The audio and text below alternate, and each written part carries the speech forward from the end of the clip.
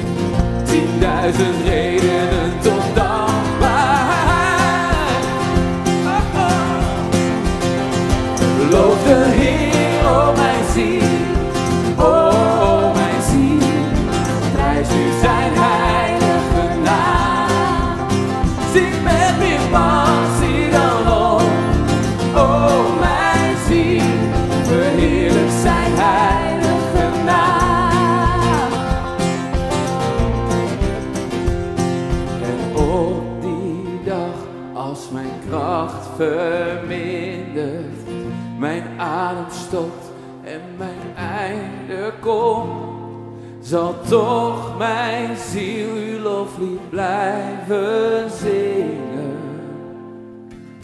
Tienduizend jaar en tot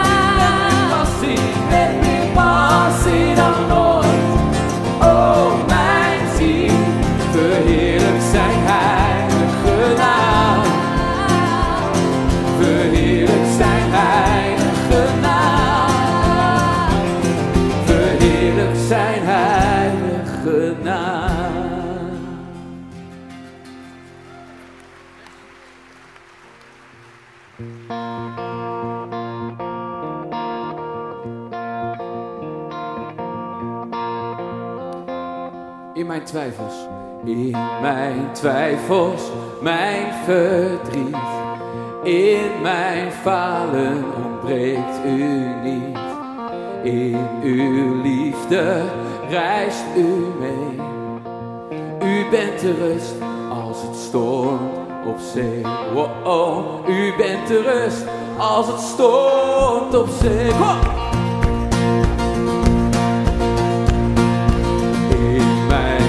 Rust neemt u mijn hand. In mijn vragen houdt u woordstand. In uw liefde reist u mee. U bent de rust als een storm op zee. Wow. Oh, u bent de rust als een storm op zee. God van wees mijn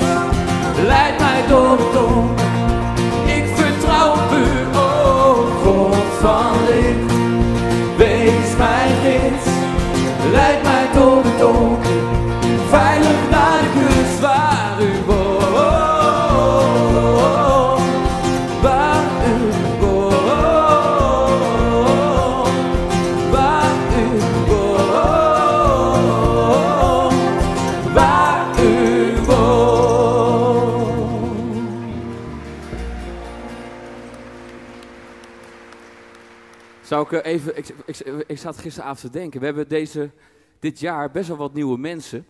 Maar wat voor een fantastische gitarist hebben we erbij gekregen. Hessel Solias.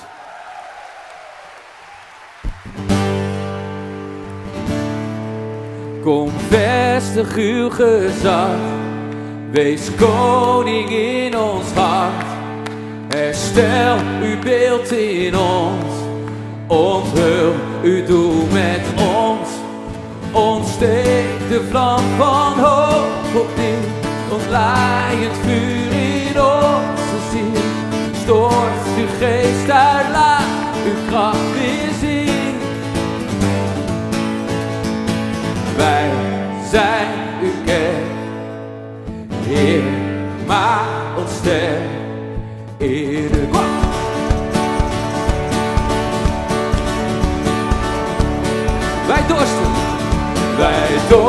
krachten naar u en uw gerechtigheid. U schakelt ons nu in en geeft ons leven zin. Gevangen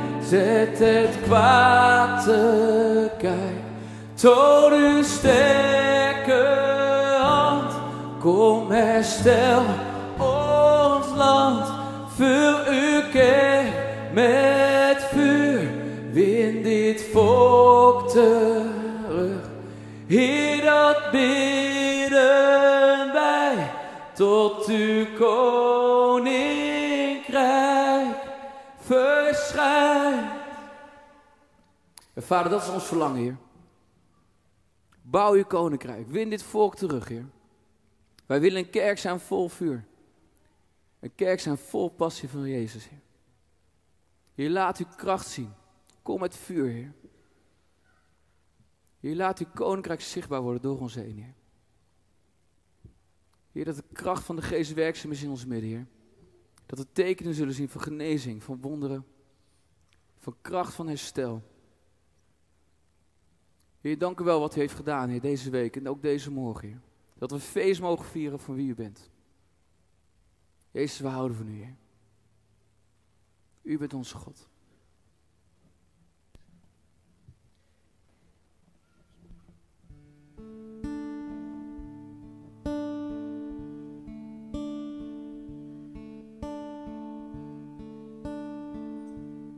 Jezus, ik hou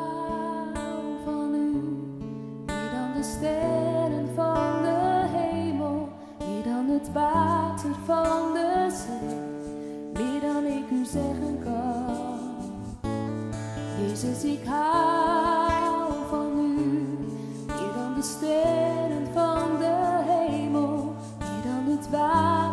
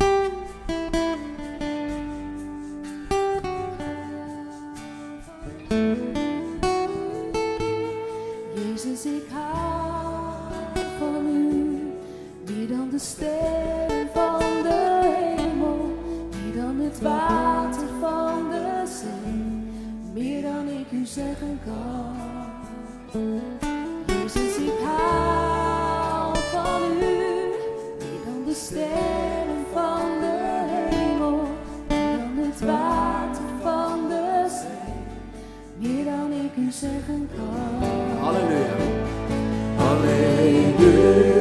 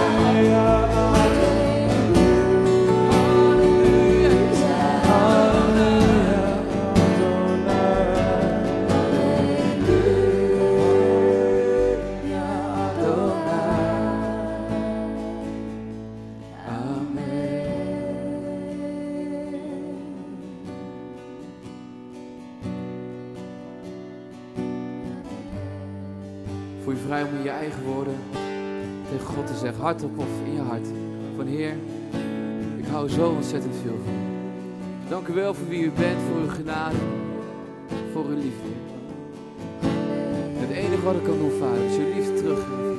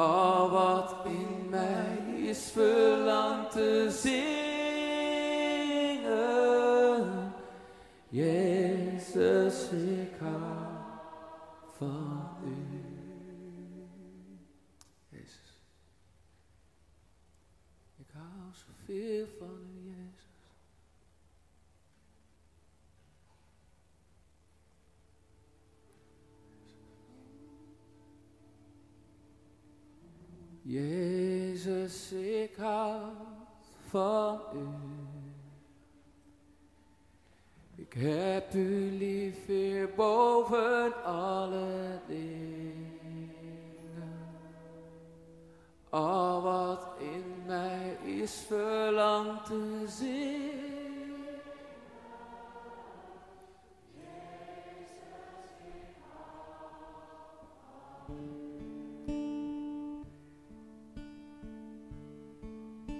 Ik zou graag alle vrouwen willen vragen om dit te zingen.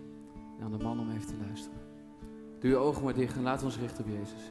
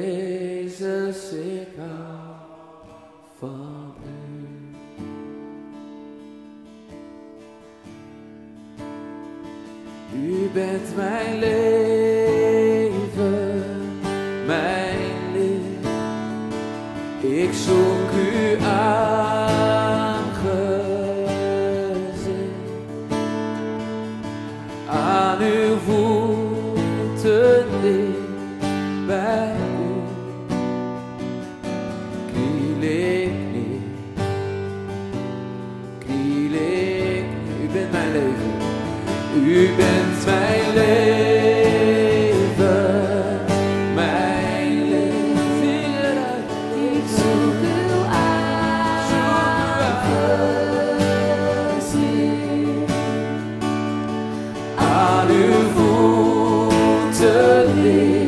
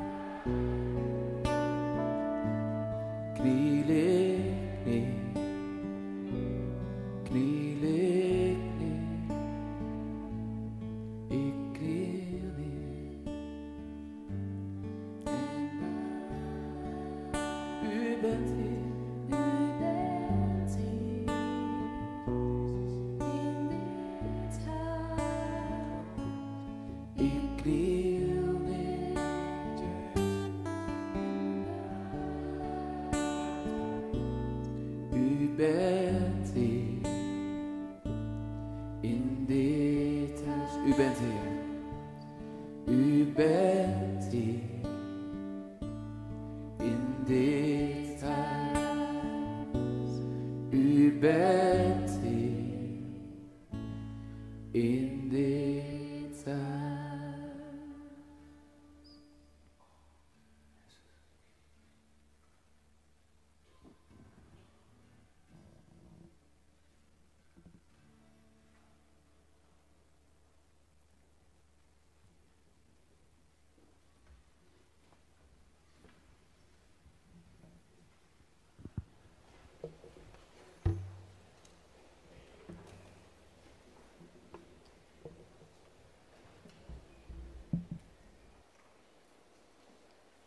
Ja, wat geweldig dat Jezus Heer is in dit grote huis en in eh, dit huis hier bij ons. Zullen we God ervoor eren samen en danken. Heer, we knielen neer in uw huis. U bent Heer in dit huis. Heer, en we danken u zo ontzettend dat u zo'n grote God bent. Zo'n liefdevolle Vader voor ons. Dank u wel dat het een stralende dag is buiten. En dat we een stralende dag met u mogen verwachten. En Heer, we strekken ons naar u uit. We strekken ons naar u uit, Heer. Want we willen u zo graag ontmoeten. Heer, en dank u wel dat u dat nog veel meer wil dan wij kunnen beseffen. Dank u wel dat u hier bent. Amen. Yes, we are very much looking forward to uh, what God has given you for today. Good. It's such a privilege to have you in our midst. Thank so, can I pray for you? Yeah.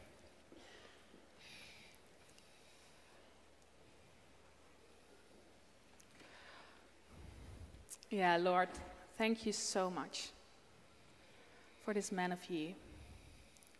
Thank you for what you have given him. And Holy Spirit, will you manifest your presence within Derek? Will you empower him? Will you give him your words? We long so much for more of you, Lord. Thank you for Derek. We bidden voor Jacqueline. Heer, dank u wel voor het enorme talent wat ze heeft. Om uh, zo goed en zo snel te vertalen. Heer, ik bid voor vreugde voor Jacqueline. Dat het genieten is om uh, al die woorden te vertalen en de boodschap echt goed over te brengen. Wilt u haar uh, de helderheid geven? Wees gezegend. Amen.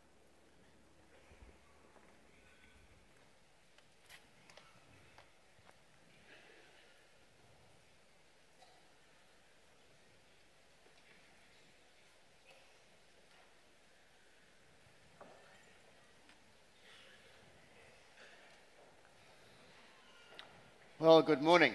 Goedemorgen allemaal. We're all in a better mood today because the sun is shining. We hebben vandaag allemaal vast een beter humeur omdat de zon lekker schijnt.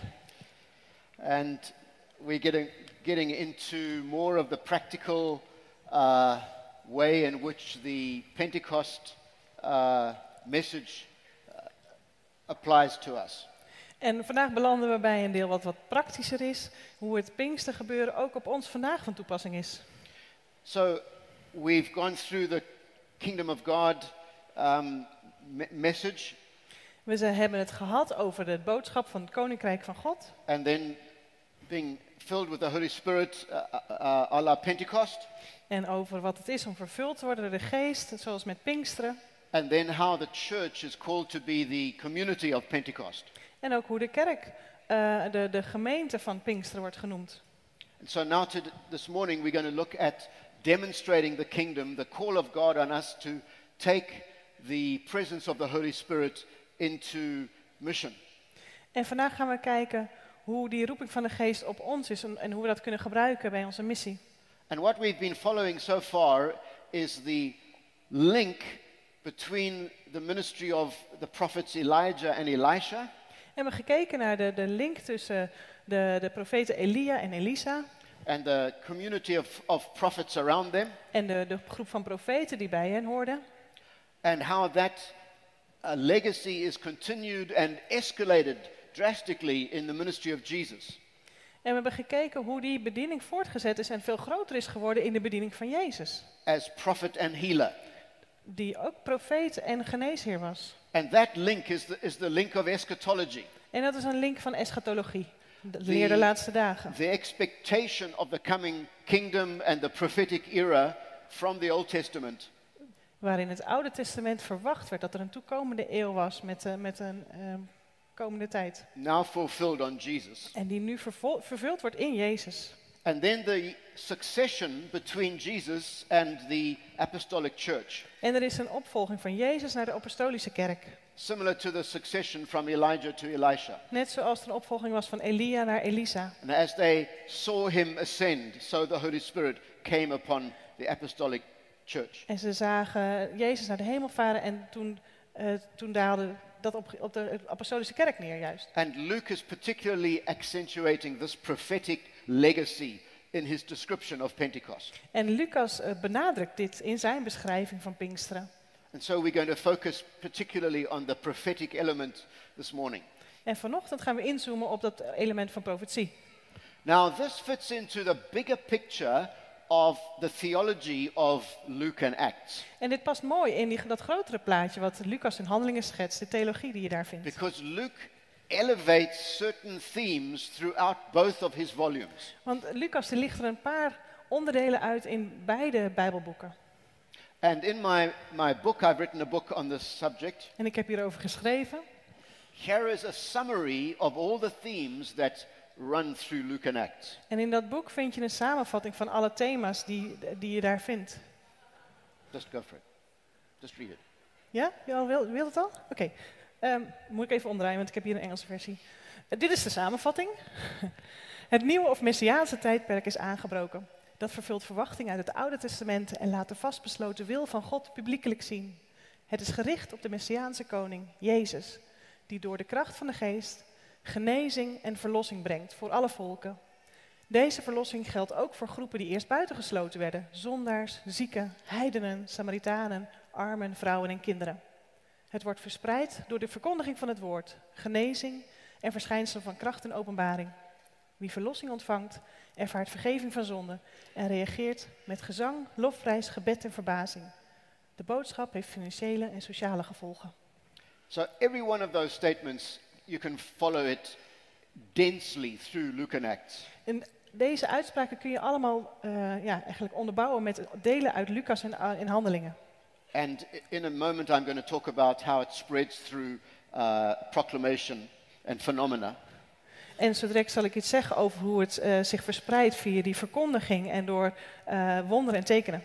But first, something about healing and salvation. Maar ik zal eerst iets zeggen over genezing en over verlossing. In Luke's theology, the word, the Greek is sozo, soteria, different words linked to the same root word. In Ah. het eh, evangelie van Lucas vind je het woord sozo of soteria, en die hebben allebei hetzelfde basiswoord. Means both healing and salvation. The same Greek word is used for our translations, healing and salvation. En dat wordt eh, zowel gebruikt, vertaald met verlossing als met genezing, redding, genezing. So remember the story of the crippled man who Peter uh, ministered to and he went jumping around when he was healed in the temple.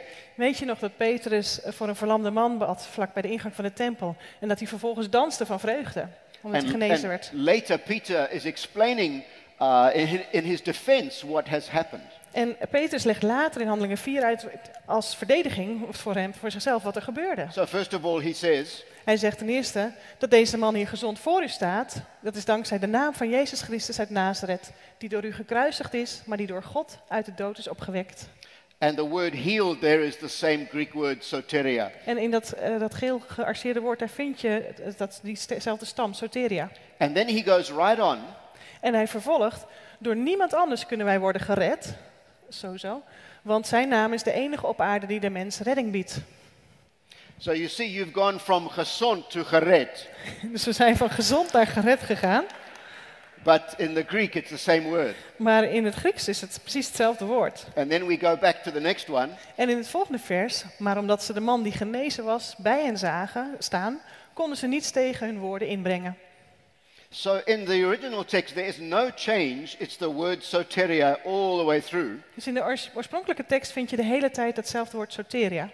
And back into the Hebrew thinking as well, it's one term. En ook in het Hebreeuwse denken werd dat echt gezien als één ding. We only divide into now somebody's been healed and now somebody's been saved. Wij maken maar alleen dat verschil tussen nou nu is iemand genezen en nu is iemand gered. But they had no such conception. Maar dat, dat beeld hadden zij daar niet bij. And in fact, if you look at all the ways in which this word sozo or soteria is used in Luke and Acts, En als je naar handelingen en Lucas kijkt en alle manieren waarop dat woord gebruikt wordt, it, it is a comprehensive word. dan is dat best een alomvattende term. It means the forgiveness of sins. Het betekent omvat de vergeving van zonde. Peter preached to them, repent and believe, and, and your sins will be forgiven. Petrus verkondigde, eh, bekeer u en geloof en je zonden zullen je vergeven worden. Deliverance from demons is to be saved as well. En eh, bevrijding van demonen, dat is ook een vorm van verlossing.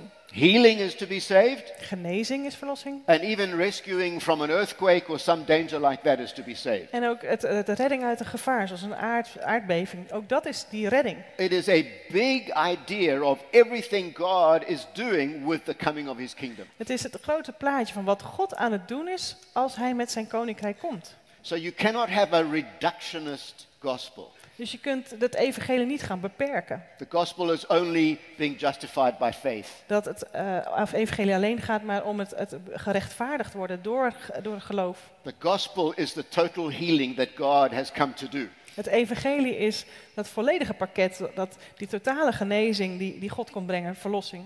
And it is this big work of healing salvation that fuels the mission and evangelism of the church. En dit grote werk van redding en genezing, verlossing, dat versterkt missie, evangelisatie en wat, het, wat de kerk doet. So the divine strategy you see in, in the book of Acts En dat is de goddelijke strategie die je ziet door heel handelingen heen. is the proclamation and demonstration of the kingdom of God. Waar verkondiging en het demonstreren van het koninkrijk van God samengaan. Lots of sermons described in Acts In handelingen worden veel preken beschreven.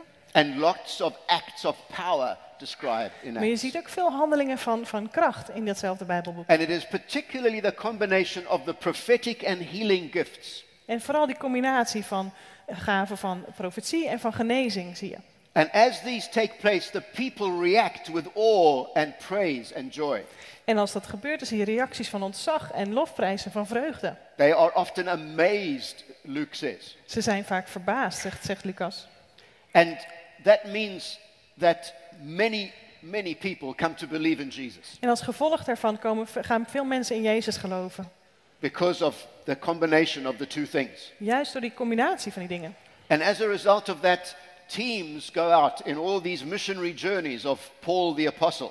En in reactie op- daarop gaan mensen kerken planten, eh, de apostelen trekken erop uit. And they plant churches throughout the Middle East En dat zie je in het hele Midden-Oosten gebeuren. with the same phenomena fueling their mission. En waar dezelfde fenomenen eh, hun, hun, hun missie versterken. So, what would it take for us as the church today to be obedient to the same commission? En wat zou dat dan voor ons als kerk vandaag betekenen als wij gehoorzaam willen zijn aan die grote zendingsopdracht? And I'm actually just preparing a course for our educational institution on this subject. En ik ben op dit moment een, een, een cursus hierover aan het voorbereiden.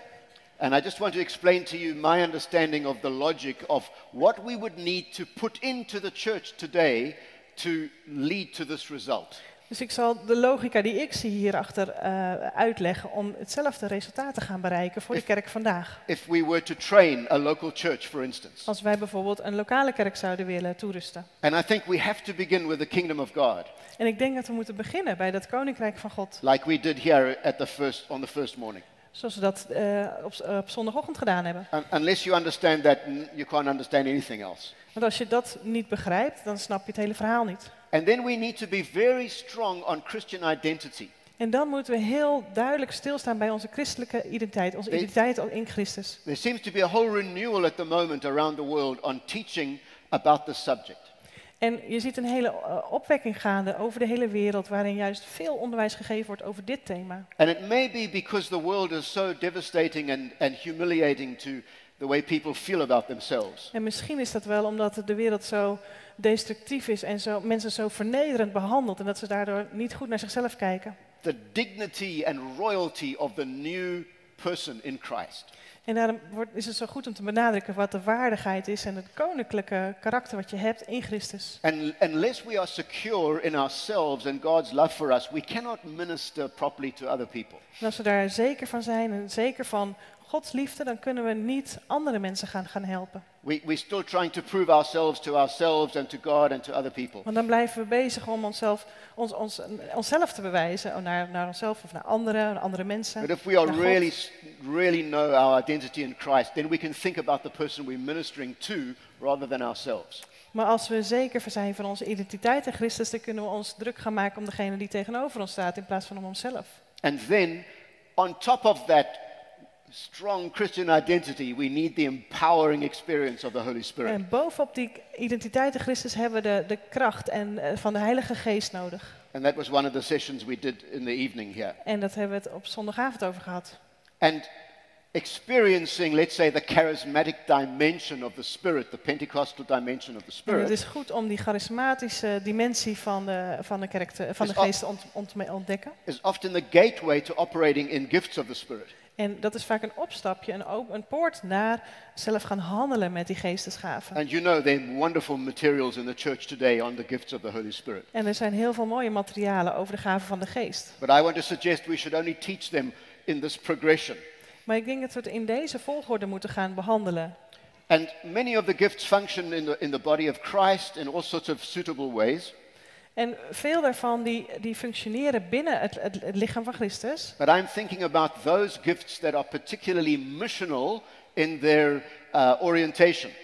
Maar ik kijk nu vooral naar gaven die je kunt gebruiken als je eh, zending gaat bedrijven. And it was particularly the prophetic legacy from Elisha, Elijah to Jesus to the church that came in Pentecost. En als je kijkt naar die, die opeenvolging van Elia naar Elisa naar Jezus naar de apostolische kerk, dan zie je vooral dat profetie daar een belangrijke plek in kreeg. So the prophetic ministry and the healing ministry. En dat profetie en genezing. And it is often the combination of the two that God uses. En vaak gebruikt God een combinatie van die twee. And that fuels what we call power evangelism, En dat eh, vuurt aan wat we krachtevangelisatie noemen. Which is what we see happening in the book of Acts. En dat is precies wat we zien gebeuren in het boek Handelingen. So I am suggesting to you, as new wine, this is your menu for the future. Dus dit is mijn voorstel aan Juwijn. Nou, ga hier eh, onderwijs over geven. Dit is je we menu voor de if we komende could jaren. build this into the churches. Als we dit binnen in de kerken zouden kunnen opbouwen. So let's just root this in scripture. Laten we dit eens verankeren in de, in de, in de Bijbel.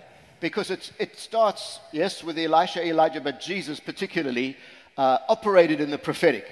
En we hebben gezien dat Elia en Elisa in eh, profetisch bezig waren, maar Jezus doet dat zelf ook. So you know the story of Jesus and the Samaritan woman. Je kent het verhaal van Jezus en de Samaritaanse vrouw. First of all, it was, he was breaking various social barriers between Jews and Samaritans and males and females. En met wat hij daar deed, doorbrak hij sociale barrières tussen Joodse mannen en Samaritaanse vrouwen. And then at a certain point, he says to her, Go and call your husband. En op een gegeven moment zegt hij, ga en haal je, haal je man erbij. And she says, Well, I don't have a husband. En dan zegt ze, nee, ik heb geen man. And then he says, Yes, you've had five husbands, and the man you're living with right now is not your husband. En hij zegt, het klopt, u hebt vijf mannen, en de, ehm, en, maar de man met wie u nu leeft, dat is ook een man niet. And she immediately realizes that Jesus is operating as a prophet. En die vrouw beseft dat Jezus zich gedraagt als een profeet. In, in today's language, we would say he read her mail. Oké. Even een Nederlandse uitdrukking. Ehm, in het, eh, wij zouden vandaag zeggen, van, hij, hij heeft er mail gelezen. How does this man know all these things about the secrets of my life? Hoe, eh, hoe weet hij dat? eh, al die geheimen van haar And then, leven. of course, he reveals that he's not only a prophet, but he is the Messiah. En dan eh, openbaart Jezus dat hij niet alleen een profeet is, maar dat hij de Messias is. And she goes back to the village, and the thing she's talking about is that he operated in a prophetic gift. En ze rent terug dat dorp in. En wat ze daar vertelt, is dat hij eh, als een profeet handelde. And then you know the whole village came and started believing in Jesus. And it began simply because he operated in a prophetic gift of knowledge. En het hele dorp eh, gaat in Jezus geloven en komt met terug. En dat begon allemaal bij dat Jezus eh, handelde in, met profetische gaven. And Jesus used to do this in, in different contexts. En dit, Jezus doet het op verschillende gelegenheden. One of the most profound is his relationship with Peter. En een van de belangrijkste vind je in die van zijn relatie tussen, eh, met Petrus. Remember when he first met Peter, he, he, he predicted, he said, You are Petros, and on this Petra I will build my church. Weet je nog dat, dat hij eh, bij de eerste keer zei van jij bent Petrus en op deze rots zal ik mijn kerk bouwen. He predicted the change in Peter's character. Hij vo- voorspelde een verandering in het karakter van Petrus. But then at the Last Supper, he starts telling Peter his whole future life story. Maar bij het laatste avondmaal vertelt hij eigenlijk aan Petrus wat zijn hele levensloop zal zijn. Says, Peter, you are going to be tested. Your faith is going to fail. But I have prayed for you in advance. And after you have come through, lead your, your brethren, strengthen your brethren. En hij zegt, eh, Petrus, ik heb voor je gebeden, want je zult beproefd worden. eh, en dat, maar dat zal, je geloof zal stand houden. En als je terugkomt, versterk dan je broeders. Isn't Jesus gracious to tell him the good news before he tells him the bad news? Het is niet geweldig dat, God, dat Jezus al het goede nieuws vertelt voordat hij het slechte nieuws vertelt. And then he says, You're going to betray me before the cock crows. En dan zegt hij van nou, voordat de, de haan kraait, eh, dan zul je me, me, me bedriegen. And then you know the story how he denies Peter, Jesus three times. En je zult me verloochenen. En je kent het verhaal dat Petrus dat drie keer doet. And then you have that wonderful story after the resurrection in Galilee where Jesus takes Peter through a three stage confession. Maar je weet ook dat na de, de opstanding in Galilea Jezus eh, Petrus meeneemt in eh, drie keer beleidenis. doen. For each denial, replacing it with a confession of love for Jesus. Elke verloochening wordt vervangen door een beleidenis van liefde voor Jezus. He's putting Peter back together again. En hij zet Je- eh, Petrus weer op zijn voeten. And then Jesus gives Peter another prophetic word.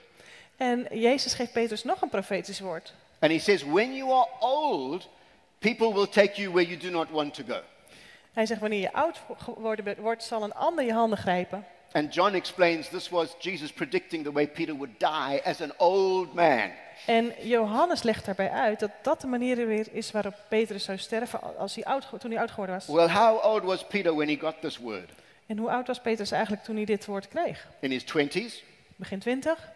And what do you think about old men when you're in your 20s? En hoe denk jij over oude mannen als je aan 20? You think it's going to be a 20. hundred years before I look like that. Waarschijnlijk denk je dan van nou, dat moet wel 100 zijn voordat I've zo eh, eruit ziet. Ik heb nog heel veel tijd. So Peter, from that moment on, became fearless about his life and death. Dus Petrus die werd, wel, had geen angst meer voor zijn leven en zijn dood. Jesus had been accurate in everything he'd predicted about him already. Want Jezus was heel accuraat geweest in wat hij al over hem had uitgesproken. And now he's telling Peter, you're going to live until you're an old man. En nu heeft hij gezegd, nou Petrus, jij zult leven tot je oud And bent. then you will be martyred. En dan pas zal je gemarteld, But in the worden. meantime, don't fear anybody. En voor die tijd hoef je niemand te vrezen. And Peter literally lived in that prophetic word for the next few decades And- as a fearless preacher. Petrus leefde als een, een, een, een, prediker zonder angst in die, die tientallen jaren daarna. And we see how mighty he is in the book of Acts, but it's, he was set up for this by the prophetic ministry of Jesus to him. En we zien hoe moedig en, eh, hij is in handelingen. Eh, maar hier, hier is hij al voorbereid door And Jezus. so when the book of Acts opens and the uh, Elisha, El- Elijah, Elisha uh, succession takes place, we see the apostolic church operating in the same prophetic gifts. En aan het begin van de handelingen dan zie je dat die op, opvolging van Elia naar Elisa naar Jezus naar de apostelen plaatsvindt. And guess who the first person is who starts operating clearly in prophetic gifts? en weet je wie de eerste is die met profetische gaven aan de gang gaat? It's Peter. Dat is Petrus. And you know the terrifying story of Ananias and Sapphira, En je kent het beangstigende verhaal van Ananias en Sapphira. who lied about not giving everything from their sale to the ministry. Die erover logen dat ze eigenlijk niet alles hadden van wat ze verkocht hadden, And, and hadden Peter just gegeven. knows the truth and speaks it to the husband and then the wife, and they both fall down dead. En Petrus weet dat. En die zegt dat tegen die man en de vrouw en ze vallen ter plekke dood neer. Quite a frightening thing to join the early church. Beangstigend iets om de vroege kerk te- bij het, eh, je daarbij aan te sluiten. I must say, often when I've gone to meetings where I know there's a very gifted prophet speaking, Ik zeg dit heel vaak als ik eh, weet dat ik naar een bijeenkomst ga waar heel eh, begenadigde profeten komen. I'm thinking, oh Lord, what sins must I repent of now quickly as I go to the meeting? Heer, wat moet ik nu eerst be- bekennen eh, voordat ik naar deze bijeenkomst ga? You probably don't have to do that. Waarschijnlijk hoeven jullie dat niet te doen. And then the story of Philip. Dan heb je het verhaal van Filippus. Now, you know, there's the whole settlement of the church in Ethiopia that is one of the most ancient churches. En je hebt die hele context van de Ethiopische kerk, die een van de oudste kerken that is. goes back to this Ethiopian official being converted. En die, die, die, dat, dat is, is nu zo, maar dat gaat terug naar deze ene persoon die bekeerd werd. This had huge repercussions. Dat had, had echt grote gevolgen. But the, an angel, and that was a visionary experience, and then through a, a, a- gift of the Holy Spirit, God tells Philip, Go and join that chariot. En je ziet dat er een engel komt en dat eh, door, de, door de gave van de geest eh, God tot ja, Filippus, eh, eh, tot wie spreekt? Ja, tot de Filippus. Van, then- ga daarheen. Then there's the timing that just as he gets on the chariot, he, he hears the man reading from the prophet Isaiah. En daar heeft hij goede timing bij, want vlak voordat hij bij die wagen is, dan hoort hij hoe die man he, leads leest him, he leads him to Jesus. uit Je- Jesaja en hij leidt hem tot Jezus. Then he baptizes him. Hij doopt hem. And I love this part. As he's praying for the guy to be filled with the Spirit, he gets so zapped himself that he disappears. En dit deel vind ik echt geweldig, want op het moment dat hij voor hem bidt, als hij gedoopt heeft, dan eh, raakt hij zo overweldigd dat hij helemaal verdwijnt van die plek. And he's transported and finds himself in another town. En hij wordt helemaal naar Azo- Azotus eh, verplaatst. But this great momentous missional story begins with a revelatory prophetic gift. Maar dit geweldige verhaal begint met een, een, een openbaring van een, een profetie. And then the same with the Gentiles. En dat zie je ook Oh, bij de sorry. heidenen. This, first of all, with the Apostle Paul. En eh, dat zien we zo direct, maar eerst zien we de- hoe dat gaat bij Paulus. I mean, how important is the Apostle Paul for the story of the early church and Christianity? Hoe belangrijk is Paulus wel niet voor de vroege kerk en voor heel christendom? Paul's been knocked off his, his chariot or his horse and he's blind, and God's called him. And he's sitting there in this, in this house. And just an ordinary disciple, by the way, not an apostolic leader, an ordinary disciple called Ananias, En Saulus die, die valt van zijn, van zijn wagen, van zijn paard. En eh, die wordt blind en wordt dan naar het huis van- gebracht van, eh, van iemand. En eh, dan is er een gewone discipel, niet een apostel, Ananias. the Lord comes to him in a vision God komt bij hem in een visioen and he answers the Lord. en hij reageert daarop. And notice the details. He's given through revelation there's a house, the name of the street, and the fact that in that house, Paul, called Saul then, is praying. En moet je zien hoe gedetailleerd die profetie is. Dat er een huis is en de naam van de straat, wie er nog meer in dat huis is. En dat eh, Paulus, of dat toen nog Saulus, eh, daar aan het bidden zal zijn. He goes and knocks on the door. Dus Ananias gaat erheen, klopt op de deur. Imagine how nervous he was. Moet je je voorstellen hoe zenuwachtig hij geweest zal zijn. His faith must have gone up when they said, Yes, Paul is staying here. Hij zal vast enorm bemoedigd zijn in zijn geloof toen, toen ze gezegd werd, ja, Saulus is hier inderdaad. And then Paul is filled with the Holy Spirit and the whole story follows. En hij, die wordt vervuld met de geest en het hele verhaal rolt zich verder uit. Or Peter and the Gentiles. Of kijk eens naar, naar Petrus en de It's heidenen. all revelatory gifts and unbelievable timing. Dat zijn allemaal gaven waarin iets geopenbaard wordt met een geweldige timing. Cornelius has a vision at three o'clock in the afternoon, Cornelius krijgt een visioen op drie uur 's and again he's given detailed. He says, Go, he sends his servants En hij krijgt opnieuw zulke gedetailleerde berichten. to Joppa, Ga naar, zend je dienstknecht naar Joppa. and the, and the name of the owner of the house and where it is next to the sea. En er wordt gezegd hoe de eigenaar van het huis heeft en waar dat huis ligt, vlak bij de zee. All through revelatory gifts. Allemaal openbaringsgaven, geestesgaven. And meanwhile, Peter the next day is having a vision experience in his prayer time. En Petrus die krijgt nog even een visioen. God says, Three men are looking for you. Go daarin, down. daarin zegt God van, nou er zijn drie, drie mannen naar je op zoek, ga daarheen. And as he opens the door, there they are standing there. En dan doet hij de, de deur open en dan staan ze daar inderdaad voor zijn deur. And they tell him why they've come. En ze vertellen hem waar ze gekomen zijn. And you know, this was all overcoming Peter's prejudice against Gentiles being received into the people of God. En dat was allemaal om te zorgen dat de vooroordelen van Petrus werden weggenomen, zodat ook heidenen eh, onderdeel konden worden van het volk van God. And then you know how, as he's preaching, the Holy Spirit falls on them before they even are converted. En je, je weet dat ze, de Heilige Geest dan op ze neervalt, nog voordat ze zelfs maar bekeerd zijn. God jumps the gun. Eh, God loopt op de zaken vooruit. And Peter hasn't got anything to say. We have to welcome them. En Petrus heeft er niks aan toe te voegen en die mag ze gewoon verwelkomen. So, this kind of apostolic thing is happening today all, all over the place. Maar dit soort apostolische dingen gebeuren ook vandaag de dag. I'm just going to quickly tell you a few of my first encounters. Ik zal een paar van mijn eerste ervaringen vertellen. I, I was a young preacher, and a visiting speaker from Australia came, and we had a, combina- combination of various churches meeting together. Toen ik nog maar net predikant had, hadden we een eh, Australische voorganger die op bezoek kwam met verschillende voorgangers die er ook bij waren. And he did what I've seen happening today, but I'd never seen it before. En eh, hij deed wat ik vandaag de dag zie gebeuren, maar ik had het toen nog nooit He gezien. started pointing you over there and you over there and you over there and operating in prophetic words. Hij begon mensen aan te wijzen en gaf ze profetieën. I'd never seen anything like that Dat before. had ik nog nooit meegemaakt. And then we had um, Wimber and Lonnie Frisbee visit us with his big team uh, in Cape Town. En Johnny, eh, John Wimber en Frisbee die kwamen bij ons lang, in- langs in Cape Town. And he had about 50 young people all chewing gum and walking around and ministering in gifts of the Holy Spirit. Er liepen allemaal eh, een stuk of vijftig eh, van die kauwgomkauwende gasten rond. Whispering in people's ears prophetic words. En die fluisterden profetische woorden in me- de, de, de oren van mensen. I had never seen anything like that before. Had ik ook nog nooit gezien. And then the first time I ever tried to operate in a prophetic gift En de eerste keer dat ik het probeerde om een profetie te geven, was really quite frightening. was best wel beangstigend. I was in a meeting and there were people there who were more, let, let's say, used by God in this way. Er waren in die bijeenkomst mensen die wel meer op die manier door God gebruikt waren. And sometime in the meeting, I saw a man sort of in the middle of the, of the thing in a certain aisle sitting there, and I just felt God said to me, He's got a serious heart condition, you must pray for him. En ik zag een man daar midden in het, bij het pad zitten en ik dacht, had het idee dat God tegen me zei, eh, hij heeft iets aan zijn hart, je moet voor hem bidden. And I went up to him and I said, Is this the case? And he shook his head. He said, No, not at all.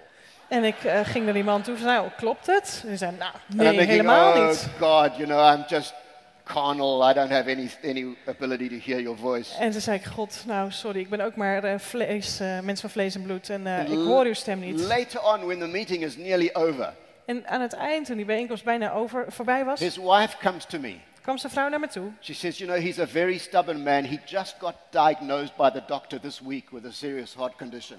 Hij zei, dit is een nogal koppige man en hij heeft net het begin van deze week van de artsen gehoord dat hij iets aan zijn hart heeft. And he's still in absolute denial. Maar dat ontkent hij nog helemaal. And I'm thinking, Oh, thank you, Lord. I got, you know. Dank u wel, heer. And I remember, I mean, some of these things can be serious. I was leading a church with a number of pastors, En er zijn ook wel wat dingen die wat, wat serieuzer van aard zijn, ernstiger. and I just knew that one of them was in an, uh, an adulterous affair. En ik wist gewoon dat iemand in een, een, een, een, een, eh, in een eh, overspelsituatie zich bevond. And I confronted him, and he completely denied it. En ik confronteerde hem daarmee en hij ontkende het. And it just wouldn't go away. Every time I was praying or meeting this man, I just felt this is happening. En, maar dat, die gedachte ging niet weg. Dus iedere keer als ik hem zag, dacht ik van ja, dit, dit is er aan de hand. So my ecclesiastical nose grew long. Dus mijn de neus van de laatste dagen werd steeds langer. And eventually his wife told me the whole story. En uiteindelijk vertelde zijn vrouw eh, wat er aan de hand was. So, you know, prophetic gifts can be very wonderful for salvation and stuff. They can also, also be quite serious. Dus profetische gaven kunnen heel erg mooi zijn als je mensen wilt redden, maar ze kunnen ook wel wat aan de kaak stellen. And then I remember when I was still quite, quite young and inexperienced, a guy who, um, he now actually ministers in Hong Kong, but he's prophetically gifted. En toen ik nog jong was, was er, was er een profetie over mij van iemand die nu in Hongkong is en die is, eh, ja, profetisch begaafd is. He started praying for me and predicting all sorts of things that I felt at that point were complete fantasy. En hij begon voor me te bidden, ging profiteren en hij zei allemaal dingen waarvan ik dacht van nou, lekker bedacht dan, That goede most of my fantasie. ministry would be outside my country, overseas, etc., etc. Dat het grootste deel van mijn bediening eh, niet binnen het land, maar daarbuiten zou zijn en over, eh, over de oceaan. And I'd already become quite skeptical with what I call flattering prophets. En ik, eh, ik was al heel sceptisch geworden over eh, profeten die je allemaal complimentjes geven. But I have to say, everything he said has been what has happened to me in the next 20 years of my life. Maar ik moet bekennen dat wat hij gezegd heeft, is de afgelopen twintig jaar allemaal waar geworden. So I feel I'm living in a prophetic word as well. Dus ik heb het idee dat ik ook in een, in een profetisch woord leef. Then, recently, just want to tell you some very recent stories. En nu wil ik je wat recente eh, verhalen vertellen. In the training institution I run, we give courses on the kingdom and healing and so on.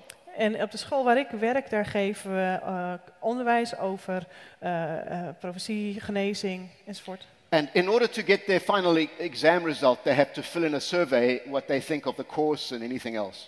En om hun cijfer uiteindelijk te krijgen, moeten ze een vragenlijst invinden van wat vind je van deze cursus. And this, this is a feedback from a student called Stephen just in the last couple of months. En eh, de afgelopen maanden kreeg ik van Steven de volgende feedback.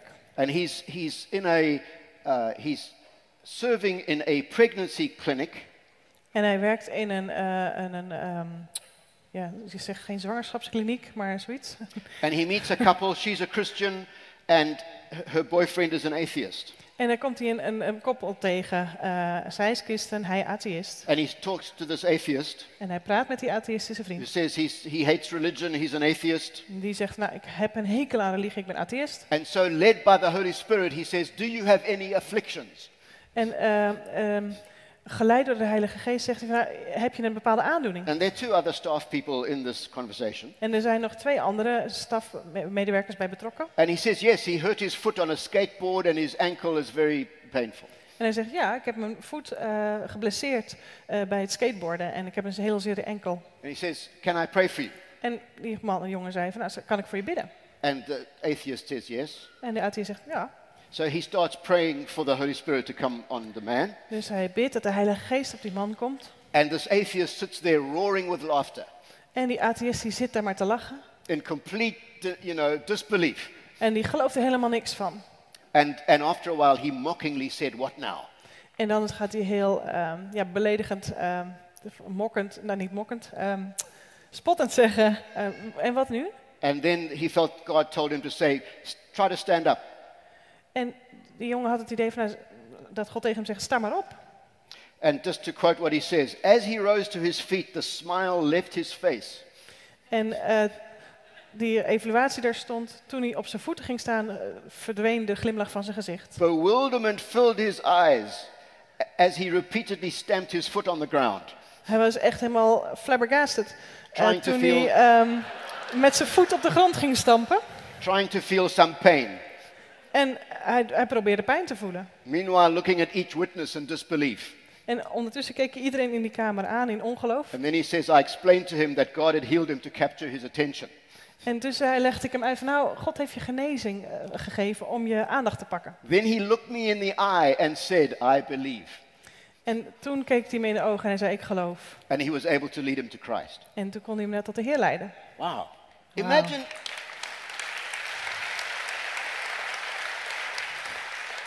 Imagine if that sort of thing could happen all the time. Stel je nou voor dat dat voortdurend zou gebeuren. There's another guy, he's called Brian Blount. He's written a wonderful book called From the Sanctuary to the Streets. En eh, Brian Blount heeft een boek geschreven dat gaat van, van het heiligdom naar de straat. I hosted him recently in Cape Town. En eh, onlangs mocht ik um, gastheer voor hem zijn in Cape Town. And by that, the way, that means having a barbecue at my house and going wine tasting. En dat betekent bij ons dat je dan een barbecue bij je thuis houdt en dat je een wijnproe- naar een wijnproeverij gaat. And he operates like this all the time. En hij heeft, maakt dit voortdurend mee. And his book is full of stories. En zijn boek staat vol met dit soort verhalen. And here's one of the stories. En een van die verhalen He is in um, Oklahoma City, is die in Oklahoma City. and a friend of his called David is in Atlanta, Georgia, En een vriend van hem is in, in Atlanta, in Georgia. lining up at the till in a Walmart. En die staat voor de kassa bij Walmart. And he phones him and he says, Is a young, is a short African American lady standing in the queue in front of you? En hij belt me op en zegt, staat er in jouw rij toevallig misschien een korte Zuid-Afrikaanse vrouw? And he says, Yes. Eh, en hij zegt, ja. And then back in Oklahoma City, he said, I got a shooting pain in my lower back going down into my hips. En hij zegt, ja, in Oklahoma City, ik had een, een, een, eh, een pijn van mijn rug naar mijn heupen toe. So he says, Ask the lady if she's got a pain like Dus vraag die vrouw nou even of zij daar last van heeft. And the lady says, Yes. En die vrouw zegt nog, ja ook. So now he hands the phone to the lady and to the guy in Oklahoma City. Dus dan geeft hij de vrouw, telefoon maar even open over, dat is wat een kortere connectie. And then he says, God loves you and has not forsaken you. En die gast zegt door de telefoon van, God houdt van je en hij is je niet, heeft je niet verlaten, niet And in de steek gelaten. crying En ze begint te huilen, there in the Walmart. midden in die plaatselijke Albert Heijn. And what had happened is they'd, she'd been a Christian En ze was christen geweest. and she had walked with God, but her husband died seven years ago, En ze had altijd met God gewandeld, maar de man was zeven jaar geleden overleden. leaving her with seven children. En die had ook nog eens zeven kinderen achtergelaten. She, she lost faith in God, En ze was de geloof in God, God kwijtgeraakt. and this was the first time God came back into her life. En dit was de eerste keer dat God weer in haar leven terugkwam. Then they lay hands on her. The guy now, David, lays hands on her. Dus die David legde, eh, die niet aan de telefoon was, die legde de handen op. Pain instantly leaves. En de pijn ging ter plekke weg. And for the next few weeks, numerous telephone conversations confirm the healing has lasted. En de, de, de weken daarna waren er allerlei bevestigende telefoontjes dat die pijn weg was gebleven. Dus dat ze echt I genezen call was. this long distance prophetic evangelism. Dit noem ik lange afstand profe- profetische evangelisatie. So, you know, there are many stories like this. Er zijn heel veel van dit soort verhalen. And it's great to tell them because they um, give us um, expectation. En het is geweldig om ze te vertellen, omdat ze onze verwachting opwekken. So, just quickly trying to bring this to a close. Ik ga dit langzamerhand afronden. Here are the key factors. Hier zijn de sleutelfactoren. Prophetic knowledge often creates the context for healing. De profetische kennis die geeft vaak de context voor genezing. And here is a quote by John Wimber on the nature of prophetic evangelism. En hier komt eh, de definitie die John Wimmer geeft over krachtevangelisatie. Ik zal hem in het Nederlands Yes. lezen. Ja. Eh, dat komt uit zijn boek. Een presentatie van het evangelie die rationeel is, maar tegelijkertijd het rationele overstijgt. De uitleg van het evangelie gaat gepaard met een demonstratie van Gods kracht, door tekenen en wonderen. Krachtevangelisatie is een spontane, geestgeïnspireerde, bekrachtigde presentatie van het evangelie. Het wordt voorafgegaan en ondersteund door bovennatuurlijke demonstraties van Gods aanwezigheid. So, this is really how Jesus' prediction, you will receive power when the Holy Spirit comes upon you, practically works out in the book of Acts. En dan is de vraag, hoe werkt het dan praktisch in het boek Handeling? Nou, dat zul je hier zien, van je zult kracht ontvangen. And to get into this kind of ministry, you have to become very bold. En om in deze bediening te gaan werken, moet je heel moedig worden. That's why Wimber used to say faith is spelt R I S K. En daarom eh, zei John Wimber in het goed Nederlands, geloof wordt gespeld als R-I-S-I-C-O. And he kept asking, Are you willing to be a fool for Christ? En hij vroeg steeds, ben je bereid om een dwaas voor Christus te worden? It comes through a combination of revelatory gifts and trial and error. En je ziet dat er een combinatie is van geestesgaven, waarin je die openbaring krijgt, woorden van kennis, en gewoon domweg proberen, vallen en opstaan. Because you have to learn how to get over your mistakes when you don't hear from God properly in order to learn how you do hear from God properly. Want je moet leren om van die fouten die je eerder gemaakt hebt, over hoe je niet goed van God hoort, om uiteindelijk wel goed van God te kunnen horen.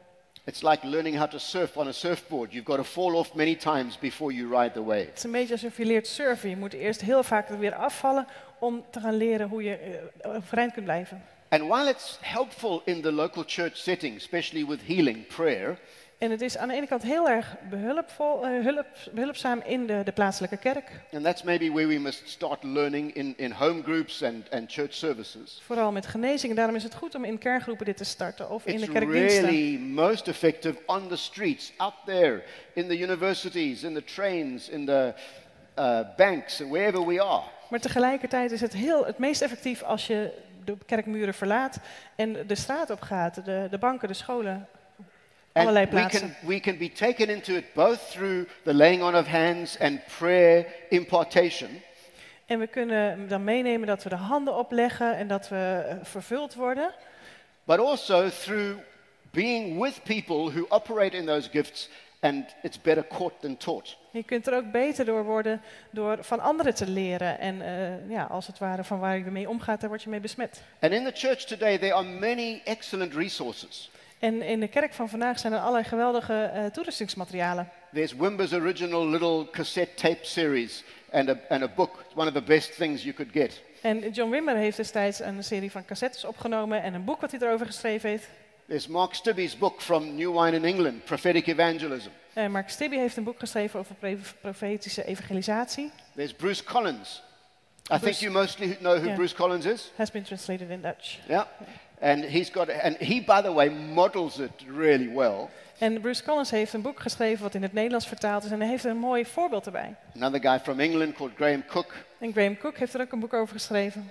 Another guy from uh, the Bethel churches called, uh, on various books he's got. En eh, Beth, eh, Vallotton komt uit de, de Bethelkerk uit eh, Amerika. So there's no excuse for us to say we don't know how to do this. Dus we hebben geen excuus om te zeggen van, nou, we weten niet hoe het moet. So let me bring this to a time of challenge and hopefully let's see if we can do some ministry. Dus nu komt de tijd waarin je wordt uitgedaagd en waar een tijd van ministry ook is. We can, we can turn off the presentation now. En de, de, de PowerPoint mag uit. Imagine if thousands of Christians in Netherlands went around in the trains and the shopping malls and the universities operating in gifts like this. Stel je voor dat duizenden christen Nederland in zouden gaan, naar een supermarkt, in de trein, of waar dan ook, en dat ze op deze manier zouden handelen. Let's dream a dream together Laten we samen die droom dromen Like vandaag. Martin Luther King, I have a dream. Net zoals Martin Luther King, I had a dream. Let's have a dream. Zullen wij die droom hebben? And I want to challenge two types of people. I want to challenge anybody, but particularly the people in their 20s and 30s, to say to God, I am going to put out my hand today to give my life to learn to do this. En ik wil twee typen mensen uitdagen, maar in het bijzonder de, de groep van twintigers, de begin- dertigers, die zeggen van nou, ik, wil, ik ga mijn lijf, leven aan God geven om, om dit te leren. And this isn't just a momentary decision, En dat is een, een- niet alleen maar even een tijdelijke beslissing, because it would involve you committing your whole devotional prayer life to listening to God and asking Him, Lord, give me prophetic gifts for the sake of mission. want het betekent dat je je stille tijd mag vullen dan met gebed van Heer, geef me profetische woorden, geef me visioenen, laat me wat zien. It would be committing yourself to go out every day as a hunter, En het betekent dat je je elke dag aan God toewijdt als een soort jager. Hunting for divine opportunities. Als iemand die, die goddelijke ontmoetingen najaagt. And then it would involve you taking crazy risks, En het betekent ook dat je eh, absurde risico's moet gaan nemen. walking up to people you've never met before, Dat je naar mensen, op de mensen afstapt die je nog nooit gezien hebt. and being willing to be rebuked, En dat je bereid bent om afgewezen te worden. but being willing to believe you may just get one. En, maar ook bereid zijn om te geloven dat je er misschien maar één krijgt. And I want to have those of you who may be saying, right, God, I really hear this. You've been saying this to me before, but now I know you are calling me to do this. En ik ben benieuwd voor wie dit geldt. Die zegt, ja heer, dat geldt voor mij. U heeft me al eerder geroepen, maar u wilt dat ik dit ga doen. I want you to be willing to be prayed for this morning. En ik wil graag dat je vanochtend voor je laat bidden. But then I want to speak to pastors.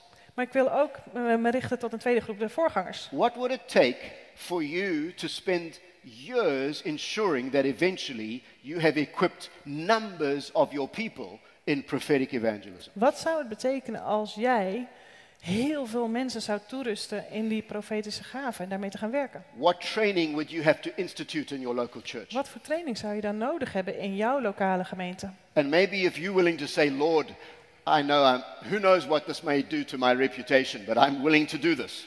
En misschien zeg je wel, heer, ik- ik weet niet wat dit gaat doen met mijn reputatie, maar ik ben bereid om dit te doen. I'd like you to get prayer as well. Dan zou ik graag willen dat je ook voor gebed komt. So let's all stand. Zullen we allemaal gaan staan? And if you want to respond in any of these ways, won't you step out into the, one of the aisles or out the front here? En als je wil reageren op een van deze twee oproepen, ga dan ergens eh, in de gangen staan, gangpaden staan of hier eh, And I vooraan. don't know about a ministry team. I just think anybody standing around these people, won't you just go and bless what God is doing? En ik eh, denk dat je niet per se in het ministerteam hoeft te zitten, maar ga gewoon om die mensen heen staan en zegen wat God aan het doen is. So this is a call. You're saying yes to God, radical obedience to the commission. Dus als dit de roeping van God over jouw leven is, ehm, reageer op een radicale gehoorzaam. And, and look, if you're one of those like me that's too frightened to say yes, come and lay hands on these people, all right? Come and, En als je bent zoals are, ik- let, let's pray for them. En je bent bang om, te bang om zelf ja te zeggen, kom naar voren en leg je handen op deze mensen en bid voor ze. And so also you can join with me in crying out to God in, in a prayer today. Je kunt ook met me meebidden en eh, samen met mij het uitroepen naar God. Lord, let your kingdom come. Heer, laat uw koninkrijk komen. Let's pray together for these people. Zullen we voor deze mensen bidden? Today, Lord, we say, let your kingdom come. Heer, vandaag zeggen we, laat uw koninkrijk komen. Lord, let the legacy of the prophets come on these your people. Laat de erfenis van uw profeet op deze mensen The komen. double portion of the anointing of Jesus come on these your people. Een dubbele portie van uw zalving op deze mensen, Jezus. And as you stand there, I bless you now. I say, receive from God the beginning of a prophetic ministry in your life. En ik bid je zijn zegen Oh. Dat is de beginning van, van een profetische bediening op je leven. Come and release prophetic gifts. Kom en zet eh, profetische gaven vrij. And, and go deep into the hearts of these people with radical obedience to En Jesus. dring diep in deze hart, de harten van deze mensen door, dat ze echt radicale volgers van u worden. Lord, give them boldness and courage. Geef ze vrijmoedigheid en moed. And Lord, from this day, I ask you to start giving them those mental pictures in the mind, those gifts of knowledge. En ik bid, Heer, dat u ze zult geven van die, van die mentale plaatjes, van die, die woorden van kennis. Lord, in moments that will surprise them. En op momenten dat ze erdoor verrast worden. Come, Holy Spirit. Kom, Heilige Geest. Open them up today to a whole new dimension of ministry. Open ze vandaag en, en maak ze bereid tot een, een, een, nieuwe bediening. And to ministries of healing that flow from the prophetic. En ook voor de genezing die voortvloeit uit de profetie. Come, Lord, and touch your people. Kom, Heer, en raak uw mensen aan. Yeah. Thank you, Father. Dank u, Vader. Thank you, Lord. Do something wonderful here. Doe iets prachtigs, Heer. Oh, Lord. yes, Lord. oh, Lord. Rock this country. Heer, zet deze, dit land op zijn kop. Lord. Thank you, Father. Thank you, Lord.